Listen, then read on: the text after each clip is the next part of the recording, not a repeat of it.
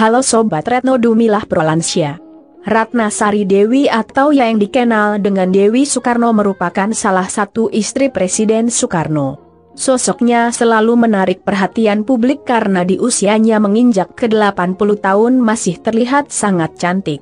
Perempuan asal Jepang dengan nama asli Naoko Nemoto itu dikenal dengan sebutan Dewi Fujin atau Madame Dewi, dia dipertemukan dengan Soekarno saat berusia 19 tahun di sebuah tempat hiburan di Tokyo. Keduanya menikah tahun 1962, di usia Soekarno yang ke-57 tahun.